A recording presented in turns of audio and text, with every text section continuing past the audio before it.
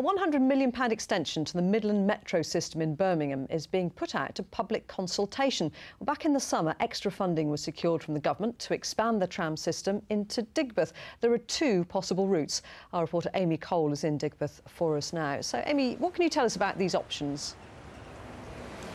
Well, this scheme seems like a good idea because at the moment it's quite tricky to get from the city centre to Digbeth where I am now. As you know, construction of the tram line is already underway to New Street, but this proposal is an additional line to Digbeth going via the proposed HS2 station at Curzon Street. Now, plans for this additional line include two options. The first is the shortest and follows Fazeley Street before turning onto Liverpool Street. There would be a stop close to the junction with Great Great Barr Street and then onto Adderley Street where there are proposals for a multi-storey car park. Option two runs along New Canal Street before turning left onto High Street Deritend. It then runs along the centre of the carriageway with a stop close to the junction of Milk Street to serve Digbeth coach station and the Custard factory before turning left onto Adderley Street.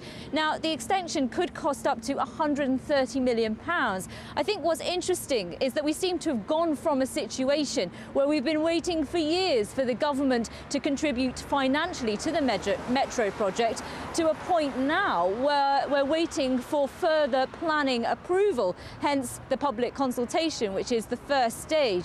Now, uh, Centro, which coordinates transport in the Midlands, is holding several exhibitions around Birmingham city centre. For example, there's one at the Custard Factory on Thursday, the 23rd of October. But, you know, if you want to go and have a look, you can find out plenty more information on their website. Uh, and also, you can contribute your comments, but you only have until the end of the month to do it. OK, Amy Cole, thank you. Staffing levels at Stafford